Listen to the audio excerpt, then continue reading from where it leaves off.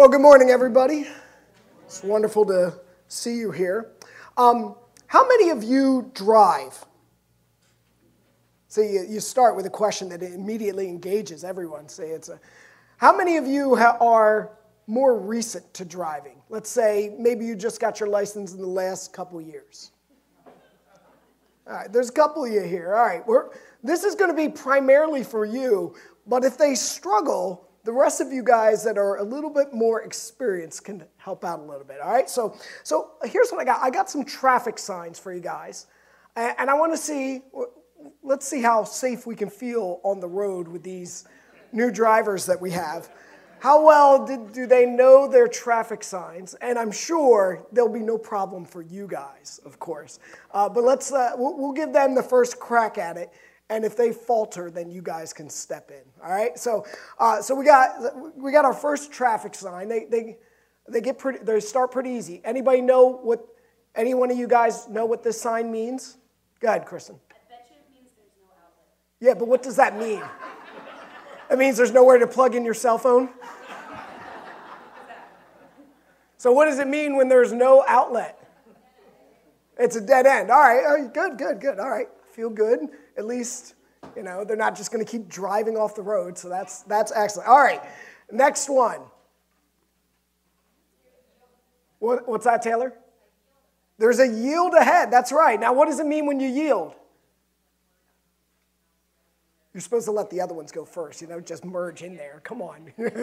yes. you hit the gas and get in there. Uh, yeah, th- this means that there is a yield uh, coming up ahead, so you, you're supposed to pay attention. All right, good. You guys, you guys are doing all right so far. All right, next one.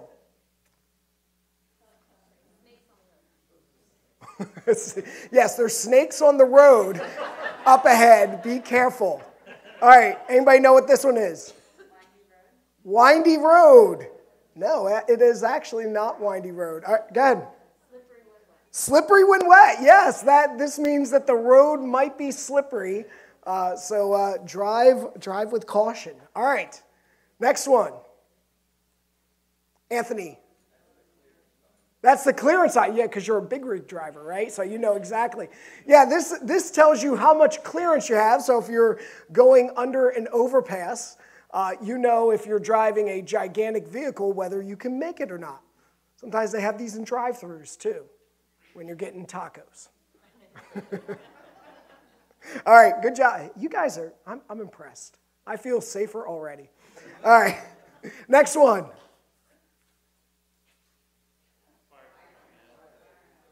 Yeah, it's, it actually means a fire station. Doesn't mean just a random fire truck's coming at you because they don't really know when the fire truck or what direction the fire truck's going. But that means that there is a fire station ahead, which means fire trucks could be flying out of there, so you better pay attention.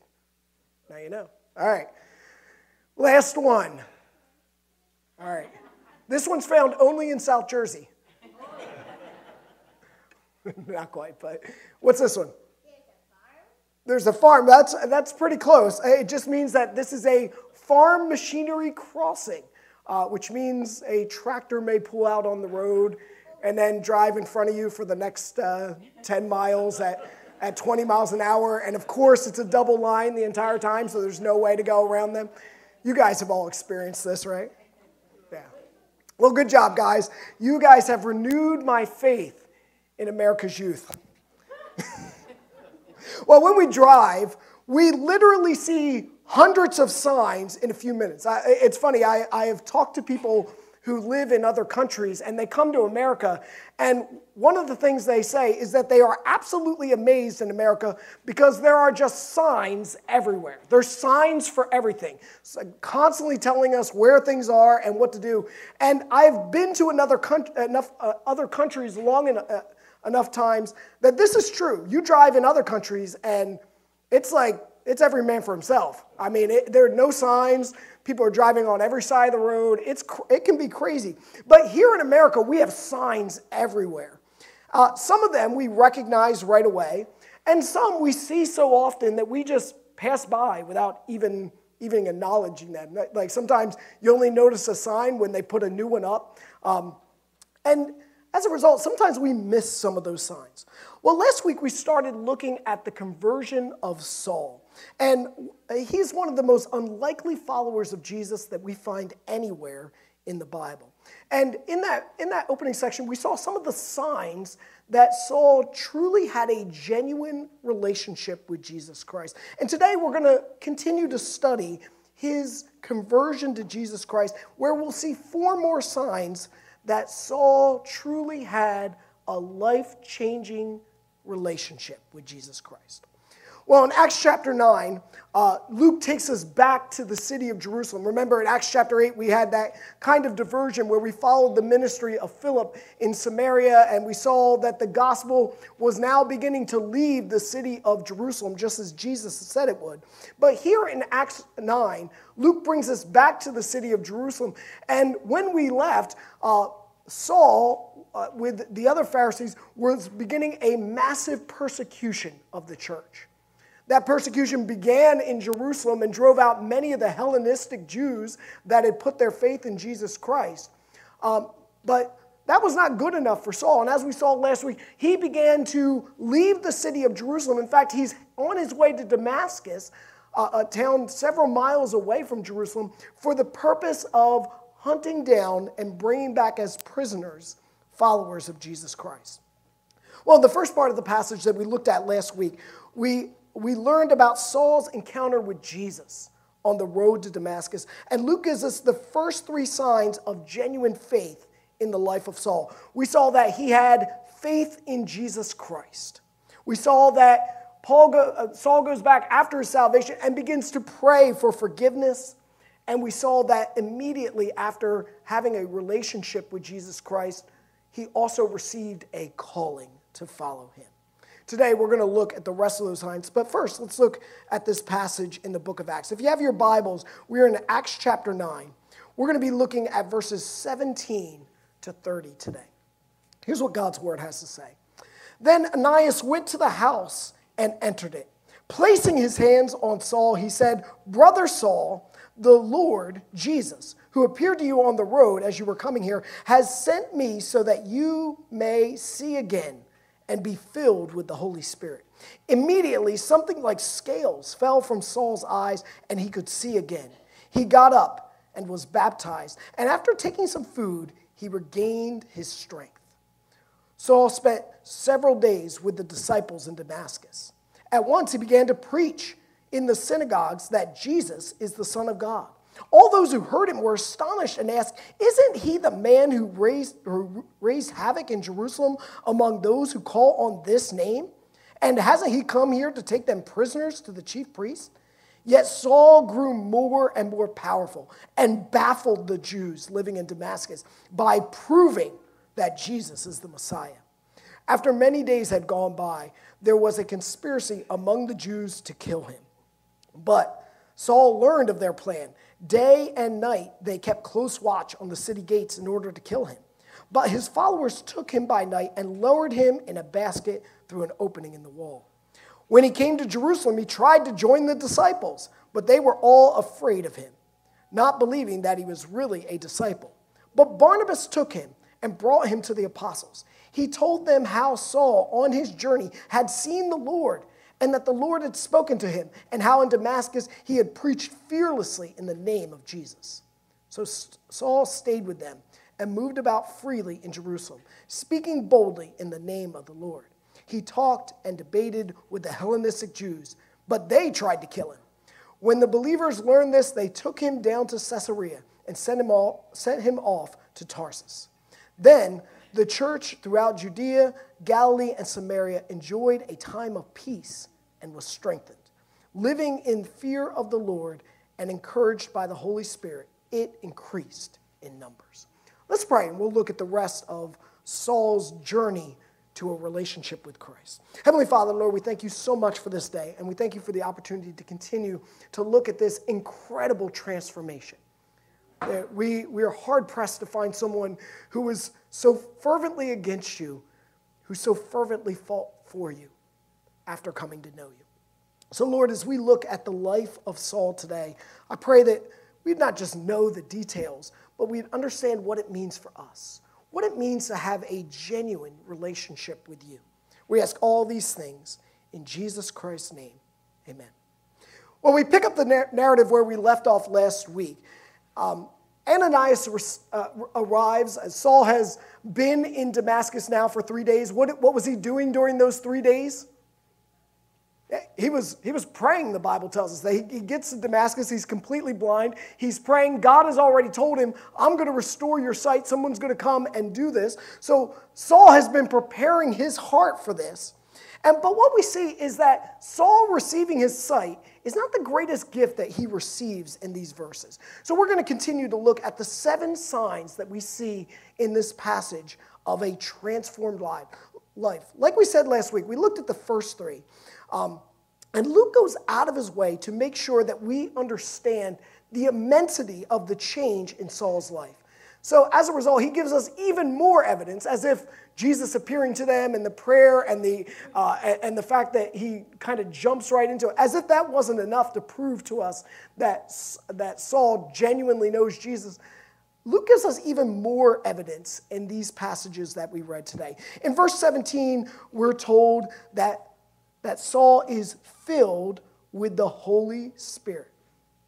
Uh, as we've seen throughout the book of Acts, the Holy Spirit is the calling card of genuine salvation. Think back to Acts chapter 2. The, the disciples received the Holy Spirit. When they, uh, over and over again, we see that the Holy Spirit is God proving that salvation has genuinely happened here. And in these verses, it doesn't specifically tell us that Ananias or Paul see the Holy Spirit come on him. We've, we've seen a couple places in the book of Acts where they actually see the Holy Spirit and dwell and dwell a person. We don't see this here, and but Luke makes sure that we know that Saul receives the Holy Spirit. Why? Because he wants us to have no doubt that Saul was a genuine believer. And if we've seen anything in the book of Acts, is that the Holy Spirit is the proof that God has changed someone's life. Second Corinthians chapter 1, verses 21 and 22, Paul writes this Now it is God who makes both us and you stand firm in Christ. He anointed us, set his seal of ownership on us, and put his spirit on our hearts as a deposit, guaranteeing what was to come. We see the Holy Spirit do many things in the book of Acts, but here in Second Corinthians, Paul points out one of the roles of the Holy Spirit is to seal us for the kingdom of God. He says here, it is God's ownership of us. It is a deposit, it is a down payment. How many of you have ever put a deposit on something? All right, most of you. And what's a deposit for? Yeah, to hold it, right? To you're the person you're buying from, you're putting money up front to tell them, hey, I'm serious. I'm going to come back and I'm going to finish paying for this, right? And that's exactly what the Holy Spirit is in our lives. We are, we are not done our work here on earth. So the Holy Spirit is God's deposit on our souls. In other words, it's upfront money. He is saying, I am incredibly serious about my relationship. I'm willing to pay up front to make sure that they have an eternity with me. Well, Acts chapter 9 uh, shows us these things. We, we see there's two remarkable changes that happen in Paul's life because of the Holy Spirit. God uses the Holy Spirit not simply as a seal, but the Holy Spirit amplifies the good and moves us away from the sin that's in our lives. And that's exactly what happens in the life of Saul. What was the good of Saul even before he knew Jesus Christ? Well, Saul was a gifted leader, wasn't he? Whether he knew Christ or not, could, could Saul lead people? Yeah, people were following him around. They were willing to put people to death. Why? Because Saul had the ability to inspire people. Does that go away because he had the Holy Spirit? Absolutely not. On top of that, he was a gifted thinker, a powerful speaker. He was incredibly strong willed and a man of powerful convictions. See, the Holy Spirit didn't strip away the amazing natural gifts that Paul had. If anything, it amplified those. God didn't take those abilities away, but through the Holy Spirit, He honed them for His glory. See, the truth is, while we are gifted by the Holy Spirit, we are fearfully and wonderfully made. And some of the, there are things that I was able to do long before I got saved, but when I got saved, those things became focused. We began to truly understand what those gifts and talents and abilities could be used for in the kingdom of God. Many of you probably could, probably could uh, give testimony of this experience. You had these abilities, and then when you came to know Jesus Christ, you saw how those abilities could be used to further the kingdom of God. But the Holy Spirit doesn't just amplify the gifts we have, it also moves us away from the sin in our lives. Because while, while Paul had some incredible abilities, he had some incredible shortcomings as well. The Holy Spirit helped sanctify Saul and replace many of his sinful characteristics with godly ones. The hatred that filled Saul's life Saul had so much hatred that he was willing to pursue people to other cities. He was going out of his way to destroy people's lives. Hatred was replaced with love, restlessness with peace, ruthlessness with gentleness, pride was replaced with humility. See, the Holy Spirit does an incredible work in us. Not only does He seal us, not only is He our deposit of the promise of everlasting life to come, He begins to move us, taking the good that God had created us and making it into great, and taking the sin that is part of us being sinful people and sanctifying us and moving us to the image of His Son. Interestingly, Paul himself recognizes the Holy Spirit's work in his life, and he writes about it in 2 Corinthians chapter 3 verse 18. Look at what he says. And we all who with unveiled faces contemplate the Lord's glory are being transformed into his image with ever increasing glory, which comes from the Lord who is the Spirit. Paul understood the transformation that he was going through. And Paul embraced it. He didn't say, This is just who I am. He said, Lord, I'm yours. You have purchased me, you have sealed me, and now I want you to change me. We can hold on to our humanness. And I know many followers of Jesus who do.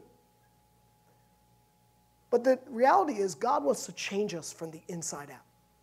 And let's be honest, that is not always a pretty process because we got some ugliness going on inside. But the reality is that the Holy Spirit doesn't just guarantee that we're going to heaven, the Holy Spirit desires to work in us, to move us to Jesus Christ. John the Baptist said it this way He says, I must decrease and he must increase in me. Paul's like, increase away. And that's exactly what he did. Well, another sign that we see that Paul had genuine salvation is found in verses 18 and 19. He had fellowship with believers. Of all the amazing turnarounds that we see in these verses, none is as, as breathtaking as what we see in verses 18 19. Look at these verses with me together. It says, Immediately something like scales fell from Saul's eye, eyes, and he could see again, and he got up and was baptized. After taking some food, he regained his strength. Saul spent several days with the disciples in Damascus. Saul had traveled to Damascus to do what? To destroy the followers of Jesus in Damascus. And by verse and by verse 19, what is he doing? He's fellowshipping with them. He's, he's having genuine relationship in Jesus Christ. That wasn't just on Paul, but that was also on them. The fact that they were willing to embrace and take in Paul, and we see later on, uh, we see later on, the people in Jerusalem weren't quite as willing uh, at first to take him in. But we're told that the, that the people of the church in Damascus welcomed him in to the family of God.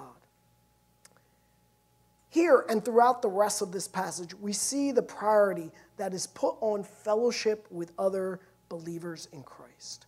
Psalm 119, 63 says this I am a friend to all who fear you and to all who follow your precepts.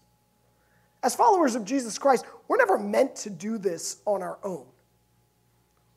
First and foremost, we have Jesus Christ. We have the Holy Spirit that's working in. But over and over again, we're told that this relationship with Christ is meant to be shared with other people. We're never meant to be an island as followers of Jesus Christ. In fact, the, the very first command that Jesus is go and be witnesses. You can't do that by yourself. You can't. Being a witness to someone requires two people. You're not just talking in a mirror about Jesus. It requires relationship, it requires fellowship. In 1 John, we see that fellowship with other believers is not just a nice thing for us to do, but it is a sign that we are actually saved. John, uh, 1 John chapter 3, verse 14 says this We know that we have passed from death to life because we love each other. Anyone who does not love remains in death. How do we know we've passed from death to life? How do we know we're saved if we love each other? What does that require?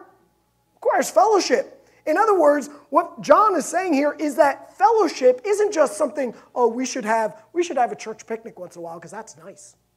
Oh, we should have a share a cup of coffee once in a while because, hey, who doesn't like coffee? Probably many of you. No, it is a genuine sign of a relationship with Jesus Christ, the desire to enter into relationship and fellowship with others. Well, why does fellowship matter? Why, why, does, why does God put such a high priority on fellowship? Because I can give you literally hundreds of verses in the Bible about the importance of fellowship, but why does it matter? Well, let me show you a picture that illustrates this really well. Uh, we, we got a picture of, of uh, Israel there. Uh, and if you notice, it, it may be a little bit hard to see, but if you notice, Israel has two major bodies of water uh, within its land. The, the one at the top is the, anybody know? if you can see, if you can't see, you know, it's the Sea of Galilee. Yeah, this is where Jesus spends most of his early, early ministry. He's out there fishing with the disciples all the time. And then down at the southern part of Jerusalem, we have what? The Dead Sea. Yeah. Now, these two bodies of water actually really aren't that, that far apart because Israel is not that big of a country. Uh, but they are very, very different bodies of water. The Sea of Galilee, we see over and over again, especially in the gospel, that people are constantly fishing out of the Sea of Galilee. Why do you think that is? Because it's filled with fish, yeah. Except for when the disciples go, they need Jesus to show them where all the fish are. Uh, anyway, but the, the Sea of Galilee is teeming with fish, it's teeming with life. Do you know why the Dead Sea is called the Dead Sea? Yeah, because the salt content in the sea uh, in, in, the Dead Sea is so high that there is literally nothing living in the Dead Sea. Everything uh, it is a body of water technically, but uh, I've seen pictures of people who have gone into the Dead Sea and they literally float on top of the water because of the density of the salt. The same is true with fellowship. Part of the reason that the Sea of Galilee is teeming with life is because the water is flowing into it, it is moving around. And as a result, it, it is filled with life. Unfortunately, for the Dead Sea, there's no water flowing into it. So as a result, it, it, it, remains stagnant. The salt content throughout the years has risen and actually continues to rise. Um, and as a result, it becomes dead and stagnant. The same is true with us when it comes to fellowship. When we have people that are coming in and out of our lives, who are able to speak truth into our lives, who are able to encourage us, convict us, and speak truth into our lives, we continue to remain alive in Jesus Christ. Our hearts continue to be stirred. I had the opportunity to go on a missions trip this week, and I got to be around some really wonderful young people. And you know what? It was good for my heart. I felt encouraged and uplifted. It gave me hope. It brought joy into my life. Why? Because I wasn't just by myself. The, the freshness of other followers of Jesus Christ was allowed to move me. As a, as a result, I was encouraged. See, without fellowship in our lives, we become stagnant and still. And this is exactly why the Bible commands us not to stop meeting together. Hebrews 10:25 says this, not giving up meeting together, as some are in the habit of doing, but encouraging one another, and all the more as we see the day approaching. See, gathering together is not just the suggestion of the Bible, it's the command of the Bible. Why? Because God knows that we need to be stirred as people. And listen, different things stir different people. Some of you hear music and your hearts come alive. Some of you open up the Word of God and you're like, man, that's a, stay here forever. Uh, and some of you, you know, we pray together and you feel the, the genuine hand of God. Listen, we're stirred by different things, but very rarely when we are an island are we able to keep that fervent pitch for Jesus Christ. What happened to Saul? What was proof that he got saved? He immediately began connecting with other followers of Jesus Christ and allowing their life to pour into his.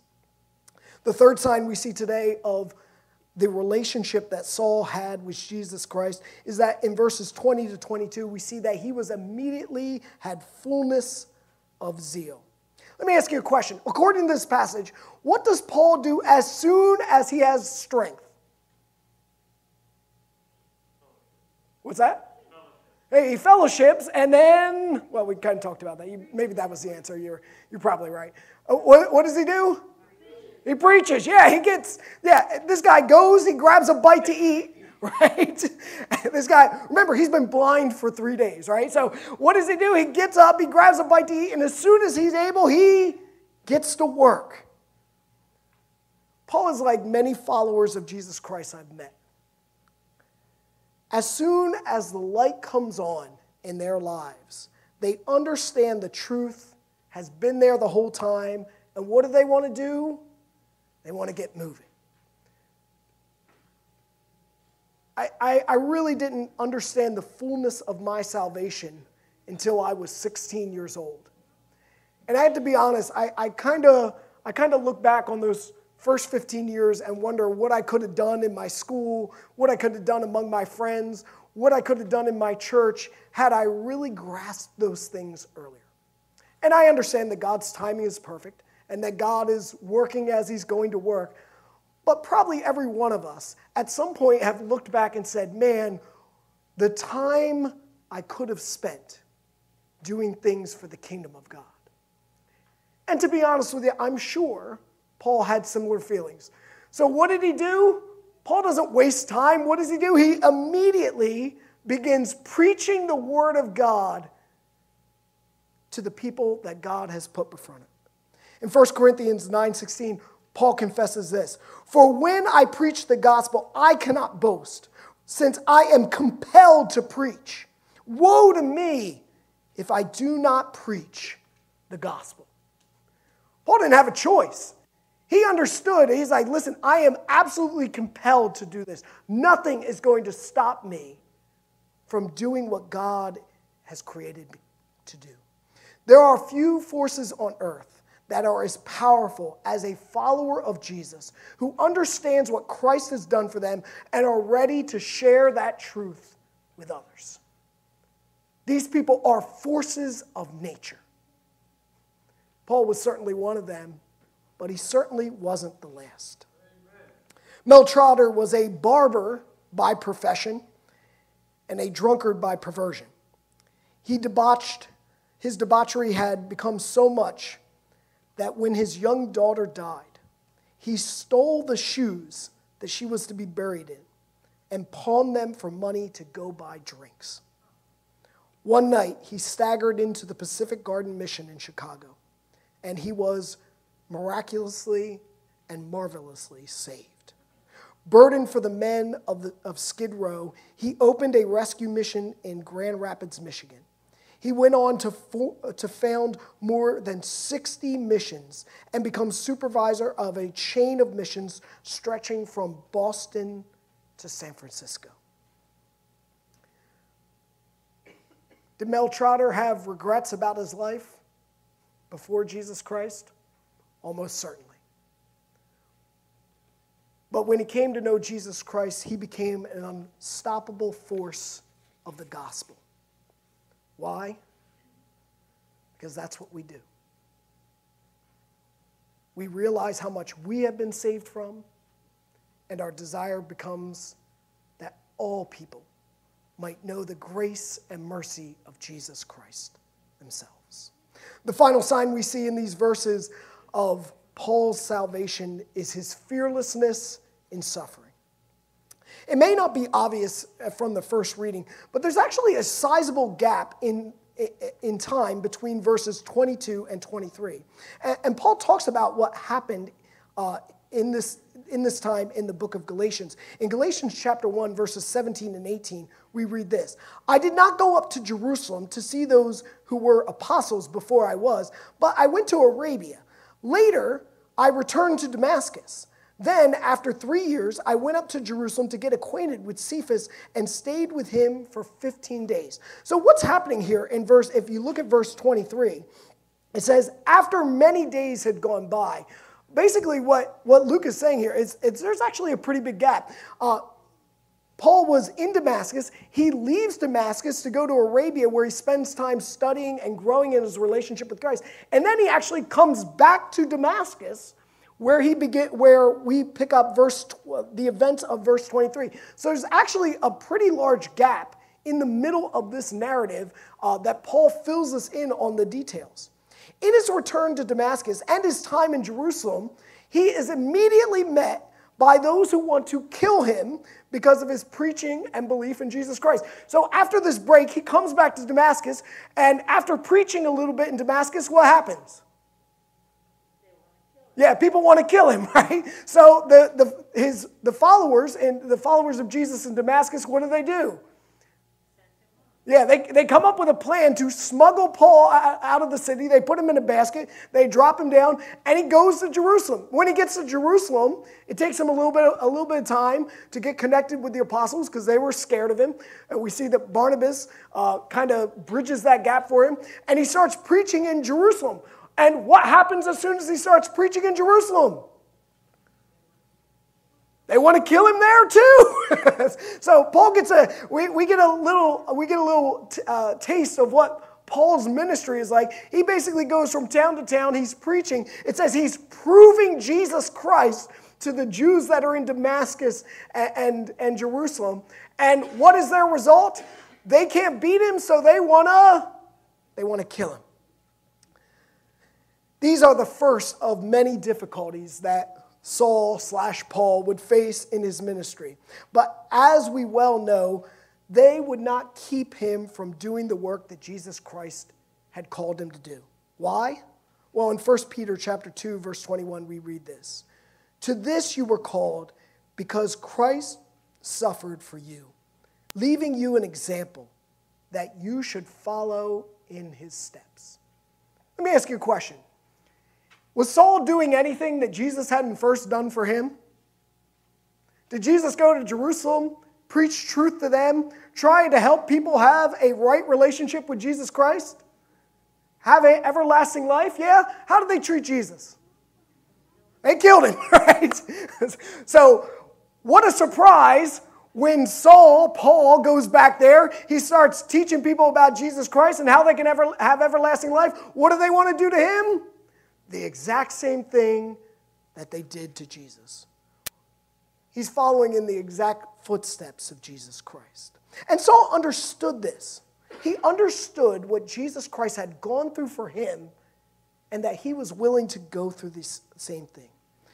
Jesus says this in John 16 33 I have told you these things so that you may have peace. In this world, you will have trouble, but take heart for I have overcome the world. See, listen, uh, let me be honest about something. If anyone tells you that you should come to Jesus Christ and everything is going to be great, they are selling you something, okay? But that's Jesus Christ himself. He says, listen, in this world, you're going to have trouble. There's going to be difficulty. Paul didn't come to Jesus Christ and suddenly everything was just hunky dory all the time. I mean, look at Paul's life. He runs from town to town. He's beaten, he's whipped, he's stoned, he's chased out of synagogue after synagogue. The promise isn't ease. The promise isn't a lack of difficulty in our lives. The promise is that no matter what difficulty you go through, you don't go through it alone. You have a God who is with you and a God who is working for the good in those difficulties in your life. If someone's trying to sell you a gospel that's going to make everything okay, they're selling you the wrong gospel. The Bible tells us in this world we have trouble. But don't fear, because the God you serve is bigger than your troubles. The God you serve can deliver you through these difficulties. That's the truth that Jesus gave us. Not a life of ease, but a life of trusting in Him. Paul also understood that no matter what happens in this world, this world is not the end. Romans 5, verses 3 to 5, he writes this Not only so, but we also glory in our sufferings, because we know that suffering produces perseverance, perseverance, character, and character, hope. And hope does not put us to shame, because God's love has been poured out into our hearts through the Holy Spirit who has been given to us. In other words, those difficulties that you have in life, those trials that you put in the hands of Jesus Christ, they are doing something in you. They are moving you towards Christ's likeness. So, Paul, he said, listen, if trials and tribulations bring me closer to Christ, then bring on trials and tribulations. He didn't run from them, he didn't hide. He said, These things move me closer to Christ, and I want to be closer to Christ. So bring it on. Saul believed that even in the difficulties of life, God was working on making him more like Jesus. And guess what? Those same promises are true for us the struggles that you're going through in life, and listen, I'm not trying to pretend that those struggles are nothing. Because let's be honest, if we've been alive for more than 15 minutes, we've had difficulty in this life. We've had loss and hurt. The Bible never promises to take those things away. But it promises that God is working in those things to move us towards Him. as true as it was for Paul, it is just as true for us today. So I'll close with this. We spent two weeks looking at the salvation of Paul. We've seen the signs that this man had a genuine relationship with Jesus Christ. So let me ask you do you recognize these signs in your life? Like the road signs we saw at the opening, these signs of these are the signs of real and genuine faith in Jesus Christ. And we shouldn't just drive by without looking. But do we know Jesus Christ as our Lord and Savior? I've been a pastor long enough to realize just because people are sitting in a church, there's a difference between that and actually knowing Jesus Christ as their Savior. My job isn't to stand up here and assume you know Jesus Christ. My job is to share with you how you can know from the Bible that you have a relationship with Jesus Christ. Do you have faith in Jesus? Have you confessed your sin and called on Him to forgive you? Are you filled with a calling that only comes from Jesus Christ? Do you have the Holy Spirit? Are you fellowshipping with other believers in Jesus Christ? Are you full of passion and zeal to do the Lord's will in your life? And when the difficulties come, are you ready to stand in the face of suffering for the one who stood in the face of suffering for you? These were the signs that Saul knew Jesus Christ as his, his Savior. I believe they're the same signs that we can look at in our own lives to see if we genuinely know Jesus Christ as our Savior. We read and study the Bible not just because this is what we do in this portion of the service. We do it so we can look at ourselves and make sure that we are walking in a way that honors and glorifies Him. Let's close in a word of prayer. Heavenly Father, Lord, we thank you for the opportunity to look at the examples that the Bible gives us, to learn from those who come before us. The book of Hebrews says we have this great cloud of witnesses that has gone before us, not just so we can have a bunch of great Bible stories for our Sunday school classes, but so that we can genuinely learn what it means to have a right relationship with you. You haven't left it to guess. You have given us clear and vivid examples of what it means to be truly transformed by your Son, Jesus Christ. So, Lord, if there's anyone here today who has not called on your Son, Jesus Christ, to be the Savior of their lives, I pray that they would not hesitate. I pray that they would not wait. I pray they wouldn't find an excuse, but that they would put their faith and trust in your Son, Jesus Christ. The Bible tells us we have all sinned, we have all fallen short of the glory of God. No one deserves this, no one has earned it. It is the gift of God so that no man or woman can boast. The Bible says that the wages of sin is death. What we've earned is separation from you, but what you have given us is the gift of God, the gift of salvation through Jesus Christ. And the Bible tells us that if we confess with our mouths that Jesus Christ is Lord of our lives and believe in our hearts that God raised him from the dead, we would be saved. There are no mass salvations. It is each and every person's decision to make on their own. But for those who would believe in him, those who would call on his name, he gave them the right to become children of God. That opportunity is for every person, not just sitting in this room right now, but for every person in this world. They have the opportunity to become children of God by calling on your Son, Jesus Christ. So I pray if there's anyone here in the sound of my voice that has never accepted Jesus Christ as their Savior, I pray that they would do so today. We ask all these things in Jesus Christ's name.